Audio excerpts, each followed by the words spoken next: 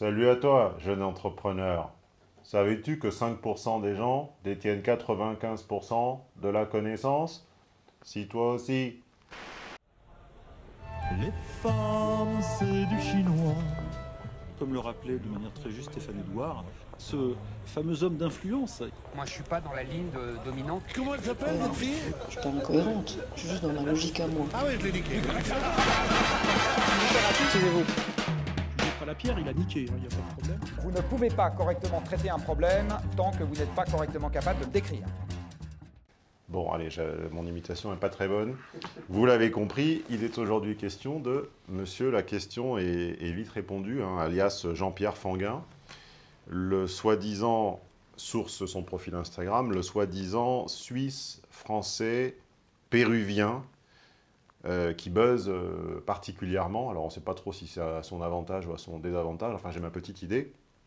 Et comme nous avons en cours avec Christophe, que je ne vous présente plus, une série de vidéos con- consistant à compter les mensonges des gens qui nous représentent. Bon, bah lui, j'estime qu'il ne nous représente pas beaucoup, mais enfin, j'ai pas résisté au plaisir de l'insérer dans la série. Alors, combien de carabistouilles, de carambars, d'affabulations, de, de, procédés rhétoriques, euh, de mensonges, tout simplement, de combien de toutes ces choses Jean-Pierre euh, Fanguin est-il l'auteur Euh, Nous nous donnons rendez-vous sur son compte Instagram. Je pense que la vidéo la plus connue de lui, c'est celle-ci, que vous avez tous vue, mais en réalité, nous allons prendre, nous allons juger l'ensemble de son œuvre. Il n'a que 1, 2, 3, 4, 5, 6, 7 publications, 8 photos, 8 publications Instagram qui sont des photos, 4 des vidéos. Donc Christophe, as-tu ton petit compteur Axe prêt? Oui.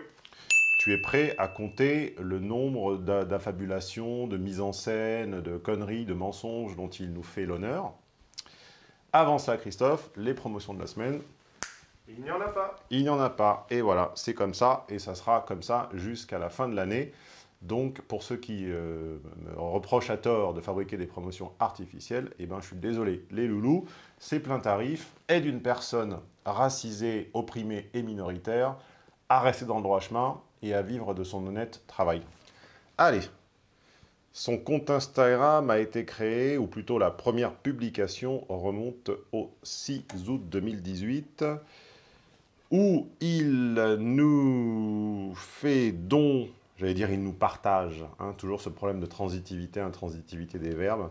Il partage avec nous un lever de bras, hein, un petit peu la façon, la, façon dandiesque du lever de coude, en mode je regarde ma montre. Cette photo est tout simplement euh, la- la photo Instagram d'un jeune homme sans imagination, un petit peu comme le fameux homme sans qualité de Robert Musil. Donc en fait, il a repris tous les codes esthétiques de tous les magazines, style GQ, euh, Dandy, etc., Monsieur, depuis euh, une quinzaine d'années.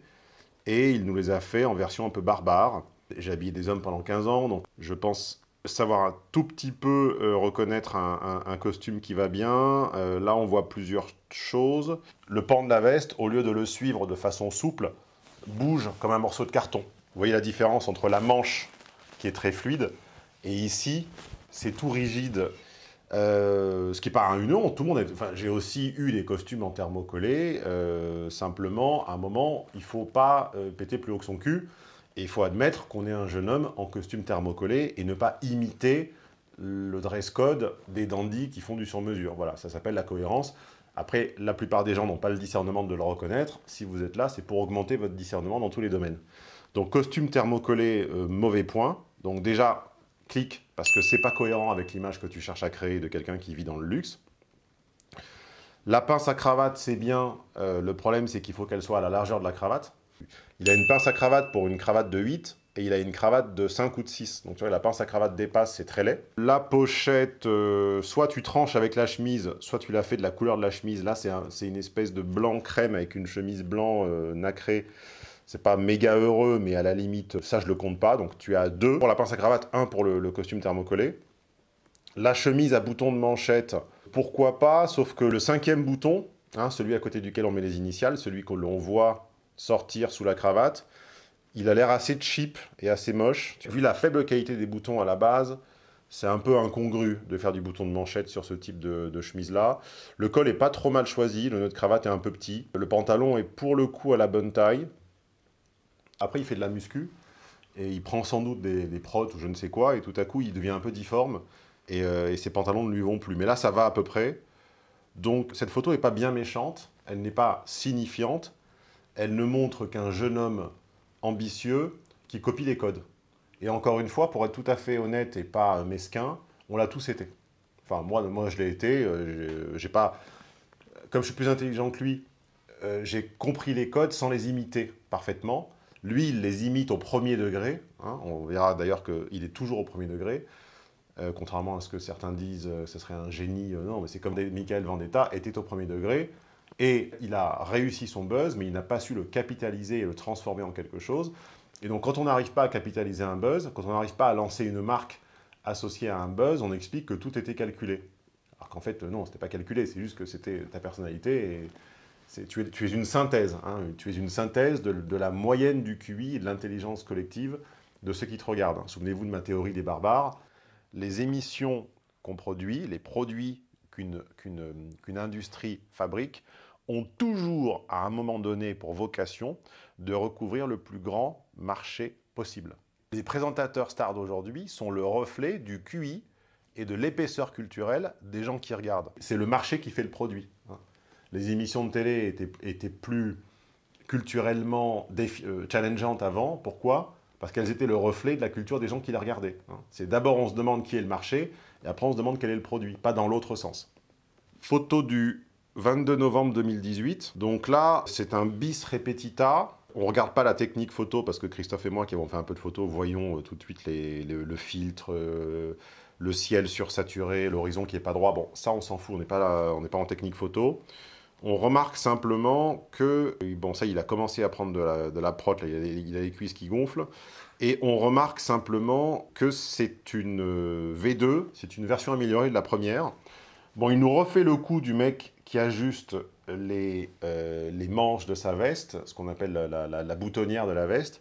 Simplement, la veste euh, me semble avoir une boutonnière fausse. C'est-à-dire qu'en fait, tu vois, les, sur les cinq boutons de la veste, là, je suis prêt à parier que la boutonnière est fausse et contrefaite, qui n'est pas grave, parce que plein, enfin, énormément de costumes ont une boutonnière qui ne s'ouvre pas, mais du coup, ça rend le geste un peu ridicule, voilà. Ça fait précieux, ça fait... euh, j'ai fait quelque chose de mes mains, donc du coup, pour faire quelque chose de mes mains, j'ai dû défaire ma boutonnière et remonter mes manches. En réalité, tu n'as jamais défait ta boutonnière depuis que tu l'as achetée, tu n'y as jamais touché, donc tu fais semblant, parce que tu l'as vu sur un magazine, de te tenir comme ça. Et puis se tenir comme ça, ça permet également de donner plus de biceps. hein. Il y a deux trucs pour avoir plus de biceps en photo. Euh, c'est, euh, un, évidemment, plier le bras, et deux, mettre son, mettre son, son bras dessous.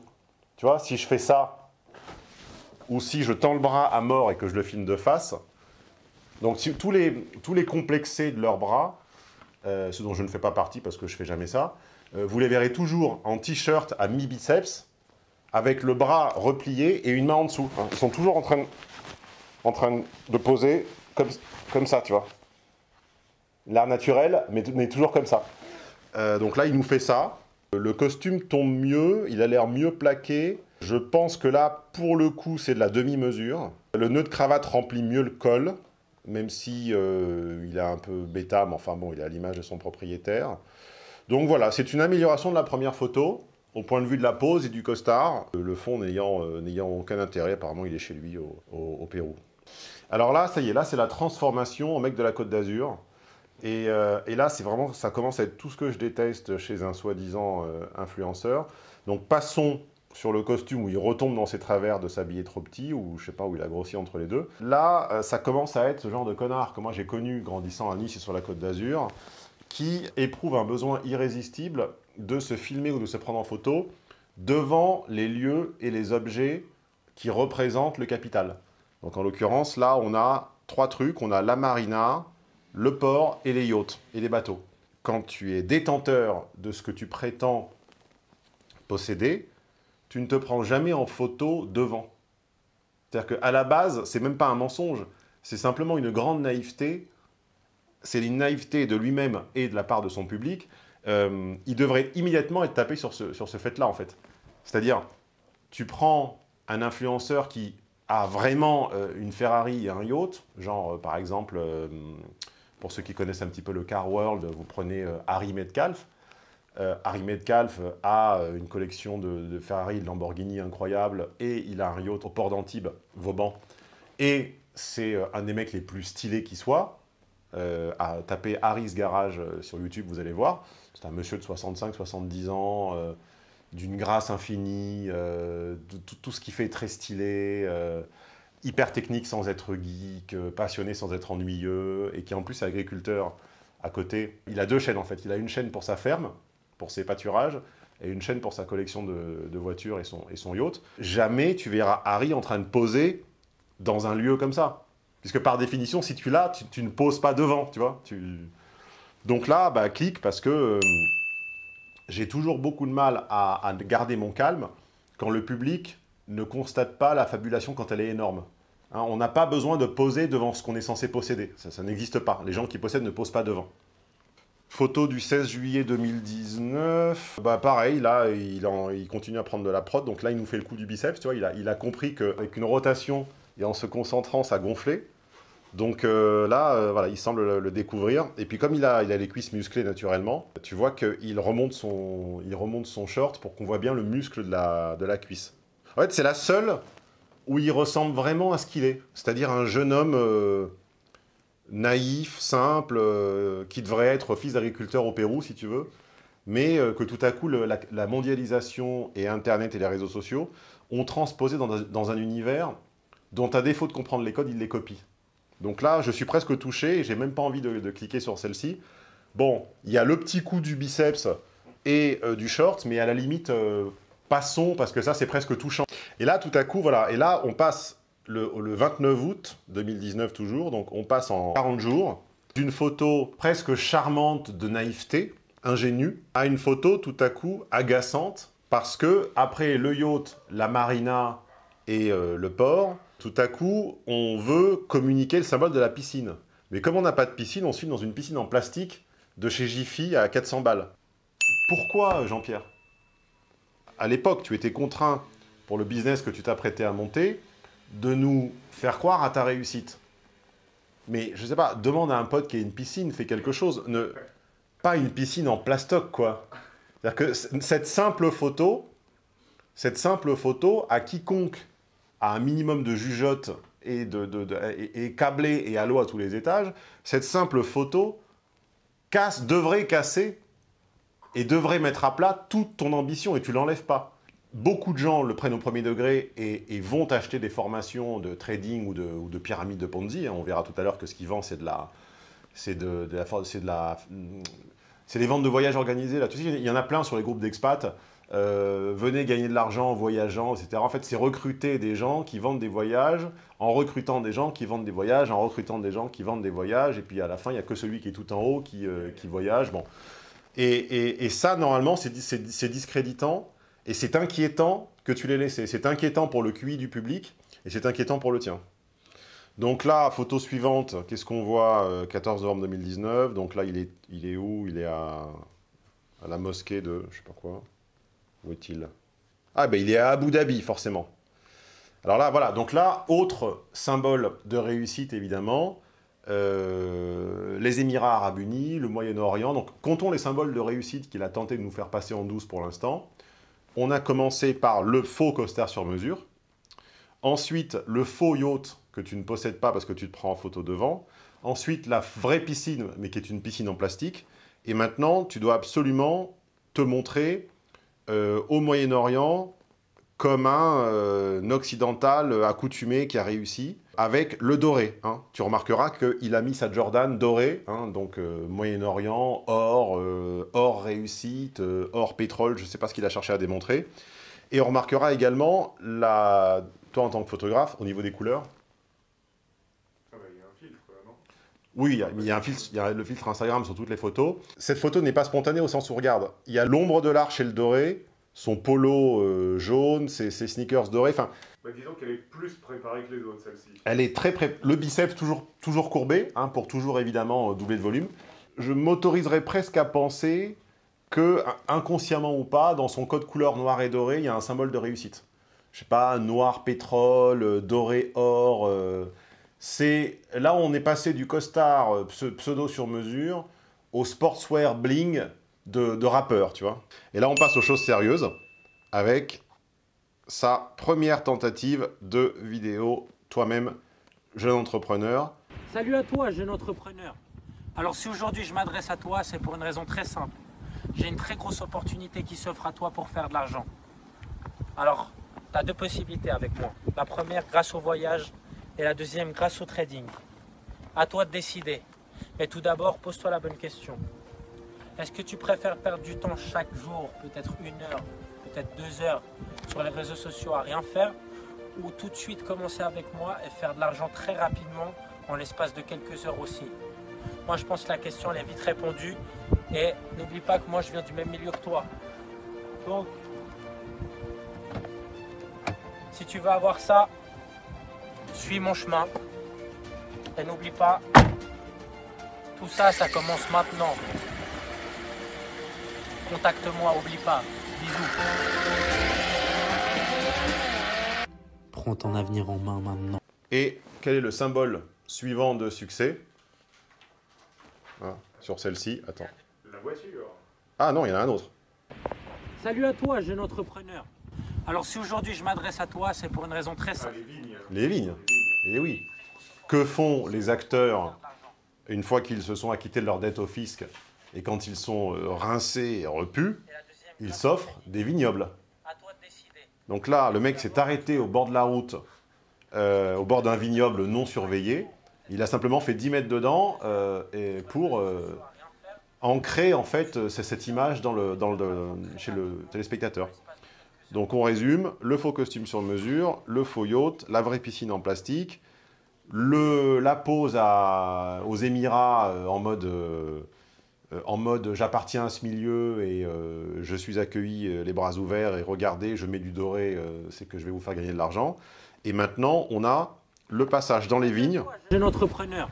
Alors si aujourd'hui je m'adresse à toi, c'est pour une raison. Bon, déjà, le costume trois pièces avec les mocassins, même Gucci, Gucci ça ne se fait pas.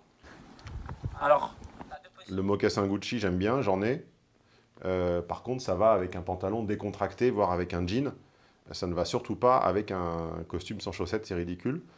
Costume trois pièces, encore une fois thermocollé, ça se voit la façon dont, sa veste se meut. Donc là, il commence sa série véhicule. Donc un SUV ou un... Ou un c'est quoi C'est un SUV Qu'est-ce que c'est que ça? Non, un coupé Mercedes, pro- probablement CLA. Euh, puis une Ferrari, puis euh, une, Mercedes AMG, euh, certainement classe E ou quelque chose comme ça. Bon. Mec, si tu veux nous faire croire que tu possèdes un de ces véhicules, mais prends toujours le même. Parce que il est, même, même en ayant réussi, il est strictement, mais vraiment impossible à ton âge que tu possèdes un véhicule de luxe par vidéo. Même si, même si tu trades à mort, même si tu as des... C'est pas possible. Donc, le simple fait que ton véhicule soit différent à chaque vidéo montre que tu le loues, tu vois. Et en plus, on le verra à chacun de ses départs, il conduit comme une, comme une bagnole de location. contacte-moi, oublie pas. Bisous. En anglais, il y a une phrase, c'est euh, drive it like you stole it. C'est conduit comme si tu l'avais volé. Euh, il conduit, tu sais comment il conduit? Il conduit comme un voiturier. C'est pour ça que les gens qui ont une voiture, avec moi j'ai pas une voiture qui vaut très cher, j'ai une voiture stylée et rare mais qui vaut pas très cher, on la laisse jamais à un voiturier, parce qu'en fait les voituriers démarrent et, euh, leur mettent comme ça, ils te, mettent l'embrayage minable. Et il conduit comme quelqu'un qui ne possède pas ses autos, mais tu sais, il, les fait monter dans les tours à, froid, au ralenti, et il part en faisant crisser les pneus. Aucun, à part un, vraiment un multimilliardaire complètement blasé de tout, mais si tu avais vraiment trimé, comme tu l'as dit, et si c'était pas une loc ou un leasing,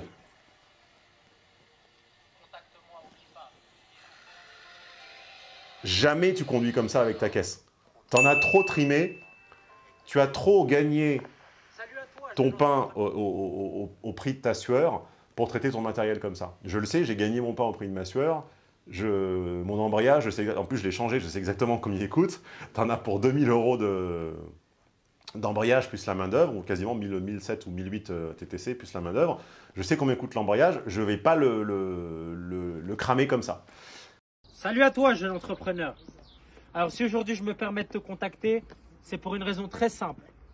Toi qui fais probablement partie de la classe sociale basse ou moyenne, Je t'emmerde avec ma, glace, ma classe sociale basse. oui. Alors là, euh, bon, le costume, on va arrêter. Les deux boutons fermés, c'est ridicule, etc. La pochette. euh, En fait, c'est même pas des pochettes qu'il met, je pense qu'il tire l'intérieur de sa veste, l'intérieur de la poche de sa veste. C'est le truc que tu fais quand t'as oublié la pochette. La Ferrari, pareil, bon, elle n'est pas à lui, machin, tout ça, on le sait. Euh, non, ce que je voulais faire remarquer sur cette photo, c'est sa- sa- sa- sa diction. Euh, il y a 25 ans, on avait une grande inquiétude en France, incarnée par des défenseurs du, français classique. euh, C'était notamment le décret ou la loi tout bon euh, qui devait un peu euh, pondérer et limiter l'usage de l'anglais dans la langue française. Et une autre loi maintenant, c'était il y a 20 ans, la France adoptait une législation destinée à protéger le patrimoine linguistique français avec trois objectifs. L'enrichissement de la langue, l'obligation d'utiliser la langue française et la défense du français en tant que langue de la République. La grande inquiétude en France, il y a, il y a une trentaine d'années, il y a en gros une génération et demie, était que le français se transforme en un franglais, puis quasiment en, un anglais colonial, quoi. Qu'on devienne un peu syntaxiquement une colonie du monde anglo-saxon. Et ce qui s'est passé totalement à, à l'insu des radars et qui se passe aujourd'hui, c'est que le français parlé par le peuple, parce que ce mec, bon, il est francophone, mais euh, il est suivi, je suis certain qu'il est suivi et cru et admiré par des milliers de gens euh, en France, et, et si c'est pas lui, c'est d'autres. Le français n'est pas en train de s'anglophoniser, il est en train de s'arabiser. C'est-à-dire que la diction d'un jeune, même pas rebeu, mais de quartier modeste à populaire aujourd'hui, c'est ça. C'est ce- ce- cette scansion arabisante qu'on appelait le pari de racaille. c'est pour une raison très simple. Toi qui fais probablement To- partie de la classe sociale basse ou moyenne, Toi qui fais probablement partie de la classe basse, basse ou moyenne, L'avenir euh... De toute façon, tes questions, euh, tu les poses, tu les poses pas, euh, je veux dire, c'est à moi de les répondre. C'est à moi, à moi de choisir. Hein déjà, déjà, premièrement. Euh... De toute façon, l'avenir, euh, je vais te dire, c'est la galère. hein. Ça, c'est clair. hein. on n'est plus l'anxiété, la crainte n'est plus l'anglais. hein. Euh, l'anglais a, euh, comme le dit Barbare dans les, euh, comme le dit Baricot dans les Barbares, résonne toujours la langue de le- dans la langue choisie par les peuples résonne le doux dictat de l'empire. Donc partout où les Américains ont exporté leur soft power, certains mots comme je viens de le faire à l'instant, soft power, se sont implantés. Je n'ai pas euh, cet anti-américanisme primaire consistant à leur reprocher de nous importer des mots qui sont plus pratiques que les nôtres. Pour moi, il est autorisé à quelqu'un de s'exprimer dans une langue s'il est en mesure de balancer avec une autre langue. Donc je mets de l'anglais dans mes phrases, mais je mets également de l'italien dans mes phrases. T'es témoin, tu m'entends souvent dire en italien, on dit comme ça, on dit comme ça. Et donc, euh, le problème n'est pas de maîtriser plusieurs langues et d'enrichir sa syntaxe avec plusieurs langues. Le problème, c'est quand une écrase les autres, quand une cannibalise les autres. Mais là, on n'est plus en danger de se faire cannibaliser par les Anglais, enfin par les Américains plutôt. On est en danger de se faire cannibaliser par un parler qui est un arabo-français de banlieue où les R sonnent comme un... Écoute ces R, ça sonne comme de l'arabe. Salut à toi, jeune entrepreneur. Entre- entrepreneur. Si je me permets de te contacter, c'est pour une raison très simple. C'est pour une raison très simple. probablement partie de la classe sociale basse ou moyenne, je peux et du coup, cet accent-là, c'est ce que j'entends quand j'appelle n'importe quel service client de n'importe quelle boîte française. T'appelles le service client d'SFR, de Bouygues, d'Orange, de Darty, de Epeda, d'Unlopilo ou de, ou de quoi que ce soit, t'as un type qui te répond d'une plateforme exactement comme ça, c'est vrai ou pas? C'est vrai. alors, photo du 3 juin. euh, le 3 juin, cette photo euh, en apparence anodine et qui pourrait ne servir à rien du tout, à mon sens, elle va quand même mériter son petit clic, Christophe, parce que cette photo est cadrée sur son... Bon, sur son visage bien sûr, mais à part ça... On on va pas faire de, de- remarques euh, qui seraient trop simples sur le physique. Euh, D'abord, ses, ses followers s'en chargent. En plus, je trouve ça euh, un peu mesquin et un peu injuste.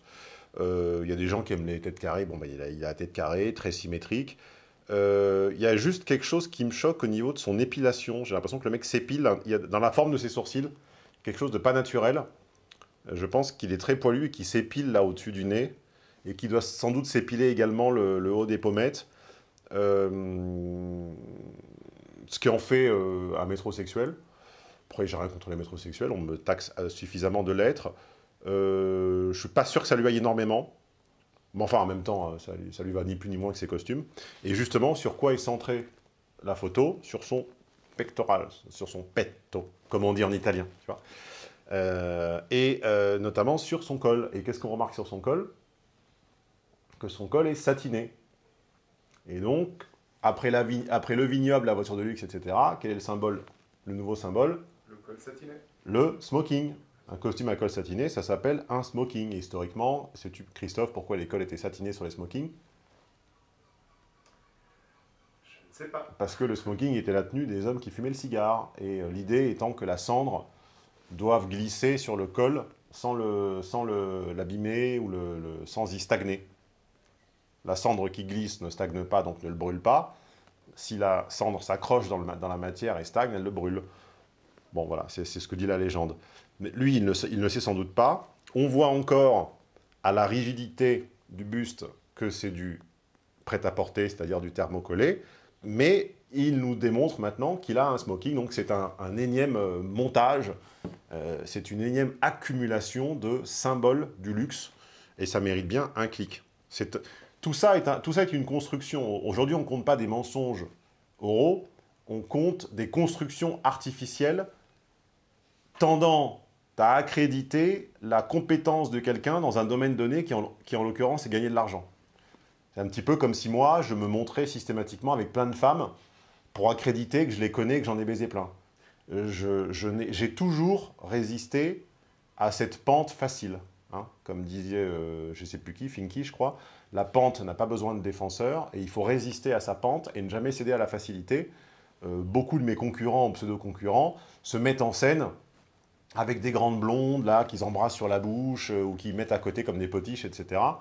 Euh, c'est pas que l'idée m'a pas traversé, mais j'ai toujours trouvé ça vulgaire et simple et j'ai toujours résisté. D'ailleurs, si on a pris Aurora, c'est- c'est pas pour montrer une paire de nichons, c'était vraiment pour faire un travail. Et l'annonce était mixte. Hein. J'ai jamais dit je veux une femme. hein. Ça aurait pu être un homme. euh, bon. Euh, mais beaucoup se mettent, en, se mettent en scène avec l'objet de la convoitise pour justement témoigner de leur, de la réussite. Moi, tout simplement, je fais confiance à votre discernement. Si vous me croyez que je connais les femmes et que j'en ai eu pas mal, vous me croyez. Si vous ne me croyez pas et si vous pensez que je suis puceau et frustré, croyez que je suis puceau et frustré. Ça m'en touche une sans m'en faire bouger l'autre. Donc là, on passe à la fameuse vidéo qu'il a fait connaître. Alors si aujourd'hui je me permets de te contacter, c'est pour une raison très simple. Savais-tu que 95% de la... Tu l'entends, le démarcheur par téléphone? Oui, allô, bonjour, ici euh, Bouygues Télécom. Si je me permets aujourd'hui de vous contacter, c'est pour vous faire euh, partager euh, notre nouvelle offre euh, Sensation qui, pour seulement 49,99 euros, vous permet d'appeler... Te, te, te. Moi je pense que la question elle est vite répondue. Alors, soit tu me suis, soit tu vas demander de l'argent de poche à ta grand-mère pour aller au resto. Donc là, alors là, plusieurs choses. D'abord, la question est vite répondue. Tout le monde pense que c'est un Halo, elle n'a pas de shampoing, euh, nouvelle version. Apparemment, c'était Aurélie et Capucine qui avaient pas de shampoing. Ah, allô? Non mais allô quoi T'es une fille, t'as pas de shampoing. Allô? Allô? En réalité, si vous étiez observateur, vous auriez déjà remarqué que le- la baisse de la transitivité est très notable dans la langue française. La différence entre un verbe intransitif et un verbe transitif, c'est l'erreur que tout le monde fait avec partager. Euh, je te partage une vidéo, c'est syntaxiquement incorrect. Je partage une vidéo avec toi. C'est le, confusion entre les... Et, et ça, c'est la même chose. La question est vite répondue. Non, euh, on répond vite à la question.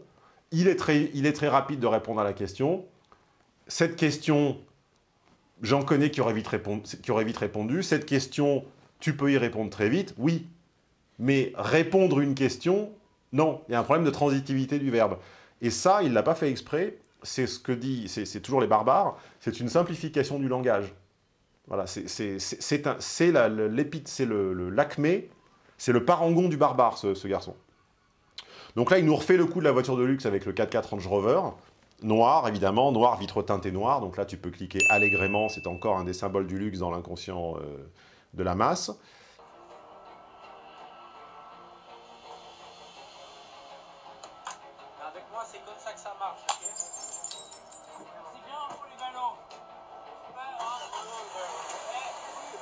Le coup du verre, il, a, il a une forme d'intelligence observationnelle parce que je pense qu'il vient d'un endroit où on ne boit pas de champagne et il a quand même noté qu'on tient une coupe par le pied pour pas le réchauffer. Ça, ça ne s'apprend pas. Enfin, si, ça, s'apprend justement, mais tu ne, le sais pas. euh. Donc, il a quand même cette, euh, cette aptitude à, par mimétisme à observer des choses. Euh, le coup du cycliste, pour moi, c'est vrai, c'est pas monté. Je- L'inflexion de la réaction des cyclistes, c'est pas des comédiens. Et d'ailleurs, ça peut pas être des comédiens parce que je pense qu'il a simplement pas les moyens, euh, à son équipement technique, on voit déjà qu'il n'a pas les moyens de mettre une vraie scène. Il n'y a, pas de- a pas le micro-perche. Si tu as les moyens de ce que tu prétends avoir, tu as au moins un film sur deux plans, tu as deux caméras, même si c'est deux téléphones, tu en as deux. Tu as un micro-perche pour qu'on t'entende, et en fait, on voit que plus il s'éloigne de la caméra, moins on l'entend. Alors que son message clé, sa punchline, son, son vecteur d'achat, le moment où il essaie de tapater, c'est la fin. Et il est toujours plus loin à la fin. T'as remarqué Donc en fait, sa punchline tombe quand il est en train de fermer la portière et qu'on ne l'entend plus. Ça, si tu as les moyens que tu prétends avoir, tu as un micro-cravate HF ou tu as une perche. D'accord? C'est pas possible ça. Donc ça, tu me cliques. Alors si aujourd'hui je me permets de te contacter, c'est pour une raison très simple. Savais Ah, ce que la R, plupart des investisseurs immobiliers ce R. de revenus passifs et n'ont même plus besoin de travailler. Oui, alors là, celle-ci, euh, là, il s'est documenté entre-temps. Et en fait, il a écouté toute cette ribambelle de connards que j'appelle les, les euh, Mister Revenus Passifs. Ouais, j'en, avais même un, euh, j'en ai connu plein. On en parlera des, des- des- des coachs en développement euh, financier, en autonomie financière. Je vous ai promis qu'on en parlerait. Aujourd'hui, on se consacre à- à- au mensonge de Jean-Pierre Fan- Fan- Fangin. On reparlera des coachs en autonomie financière. J'ai personnellement, j'en connais trois. Euh, Enfin, j'ai été confronté trois fois à la situation, pour ne pas me mélanger euh, mes pinceaux.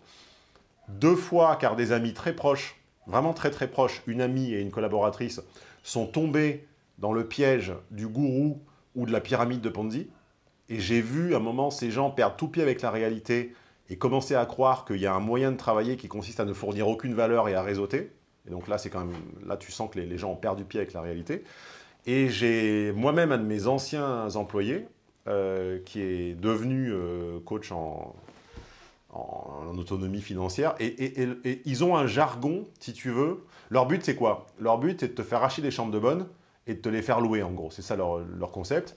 Et là, il est en train de choper tout le jargon des revenus passifs, visant à expliquer à un demeuré un peu privé de, son, bon sens ou qui n'a pas eu les bons parents, la bonne éducation, que euh, il y a une machine à mettre en place dans laquelle ensuite tu ne travailles plus et ça coule tout seul. C'est-à-dire en gros le rêve du prolo, euh, c'est la vision du riche du prolo. hein. Donc euh, ce n'est pas la peine, Jean-Pierre, de nous rappeler en début de vidéo que tu viens d'un milieu populaire. Ça se voit, un, à comment tu t'habilles, deux, à comment tu parles, trois, à tes jambes arquées de mec qui a joué au foot en cité. Regarde, il est mollets arqués de mec qui a joué au foot toute sa vie, avec les petites jambes. Et quatre, euh, et quatre tu, tu ne peux parler qu'à un prolo avec un QI à deux chiffres. C'est ça- le- ce que tu promets comme vision du monde, c'est-à-dire revenu passif, euh, trading, zéro valeur ajoutée et, euh, et ça tombe tout seul, c'est vraiment le fantasme de celui qui n'a vraiment rien compris ou qui a été vraiment souffreteux de tout- toute son existence. Quoi.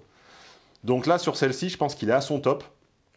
On a vraiment on a la cravate rose de vendeur d'Arty de la Côte d'Azur. On a la Mercedes de Locke AMG euh, garée sur 4 places. Tu sais pourquoi il s'est garé sur 4 places? Pourquoi Parce qu'il a, oui, il a copié en fait ce que font les gens qui ont une voiture un peu stylée, un peu sympa, et qu'on est obligé de faire, pas parce qu'on se la pète, mais parce qu'en fait, au début, on se gare sur une place normale, et en fait, on se la fait défoncer. Et ce que les gens ne comprennent pas, c'est que quand on a un modèle un peu rare où il n'y a plus les pièces, etc., et sur lequel plus personne veut bosser, c'est très compliqué de se la faire débosser ou quoi. Donc, en fait, à un moment, on, commence à se garer sur deux places Parce que simplement, on en a marre de se la faire abîmer, euh, rayer et tout. Et pas parce qu'on se la pète, mais parce que c'est simplement les autres qui nous obligent. Et lui, avec son sens de l'observation, il a dû remarquer ça. Et même pour sa putain de loc, il se met pas sur deux places, mais sur quatre. Hein ayez toujours de la mensuétude quand vous voyez une belle bagnole, chère ou pas, mais belle, euh, garée un peu sur un, emplacement euh, que vous trouvez un peu étrange. Dites-vous qu'en fait, on a essayé, mais on s'est trop fait pourrir et abîmer, et euh, on en a juste marre, en fait, voilà. Donc là, par contre, 4 places, c'est trop. 2, je veux bien, 4, c'est trop. Donc là, il est vraiment à son top. Il a maintenant un majordome, c'est-à-dire en gros un pote qui, lui- tient le parapluie. Euh, et il est passé de euh, chauffeur à passager. Donc là, voilà, un clic pour chauffeur passager, un clic pour je me gare sur 4 places. Salut à toi, jeune entrepreneur. Alors, si aujourd'hui je me permets de te contacter, c'est pour une raison très simple. un clic pour le mec qui, cla- qui claque des doigts. C'est-à-dire qu'en fait, dans sa mentalité de prolo Scarface, il pense que quand tu as du personnel, en fait, tu claques des doigts. Tu vois? Et la réalité n'est pas le cas. La réalité, c'est que tu t'adresses aux gens qui collaborent avec toi, comme je m'adresse avec toi, c'est-à-dire parfaitement normalement, en disant s'il te plaît, ou de temps en temps, tu remplaces s'il te plaît par un sourire. Et, même en demandant juste à quelqu'un à qui tu as fait le café de te l'apporter, tu as vu la réaction, la réaction que tu as. Donc imagine si, tu- t'adresses aux gens en faisant ça. Si je te parlais en disant Christophe, euh, tu vois, maquillage, Aurora, là vous me prendriez à juste raison pour un, pour un con. Mais dans son univers mental restreint, il imagine que c'est la façon dont les possédants s'adressent aux non-possédants. Eh bien écoutez, euh, je pense qu'on va s'arrêter là, colonel. Euh, ça me paraît bien. Euh, voilà, Jean-Pierre Fanguin, voilà ce que j'en voilà pense, et surtout au-delà de ce que j'en pense, puisque vous n'êtes pas sa cible, donc à la limite, ce que j'en pense n'a aucun intérêt pour vous, ou alors vous me faites honte si vous songez vraiment à, à vous pencher vers lui pour des contenus de réussite financière. D'ailleurs, tu sais que j'ai vendu mais des, mais des tonnes, des pelletés, des brouettes de conférences pendant l'anniversaire. La seule que je ne vends pas, le seul truc que je ne vends pas, c'est vivez de ce que vous aimez. Alors que putain, le, vraiment, le truc où je suis bon, et où je peux le démontrer par, euh, par des résultats objectifs et vérifiables, c'est ça. On ne me fait pas confiance là-dessus. Pourquoi? Parce que je ne fais pas ça. Je me montrerai, comme mon ex-coach, la Pierre, je me montrerai en Jaguar, euh, je me montrerai avec la vue sur mer, et je me montrerai en train de, en train de mépriser les gens comme ça. Je vendrai probablement moins du reste, mais probablement plus de vivez ce que vous aimez. Mais parce que j'ai un marketing euh, volontairement euh, enfantin et un peu régressif et, et par- et paradoxalement assez subtil, vous ne m'estimez pas digne euh, de, de- développer votre efficacité en, termes de, en termes de vente. Bon, bah, je m'en fous, de toute façon, j'ai 100 j'ai 130 autres, conférences à vendre, mais je trouve que c'est quand même paradoxal, vu le chiffre que je fais à chaque, euh, chaque euh, j'allais dire chaque mois, pas chaque mois, mais en tout cas à chaque OP, honnêtement, euh, c'est- sans vulgarité, sans faux costumes sur mesure, sans piscine en plastique, sans faux vignoble, etc., c'est beaucoup plus que lui. Donc j'ai envie de dire vraiment, enfin, à qui vous voulez demander quoi Moi je trouve que la, la question elle est vite répondue. Salut à toi, jeune entrepreneur. Alors, si aujourd'hui je me permets de te contacter, c'est pour une raison très simple. Savais-tu que la plupart des investisseurs immobiliers vivent de revenus passifs et n'ont même plus besoin de travailler? Alors, pose-toi les bonnes questions. Est-ce que tu préfères être misérable et vivre dans un 3 pièces et demi ou commencer très rapidement à faire de l'argent avec moi? Moi, je que la question elle est vite répondue.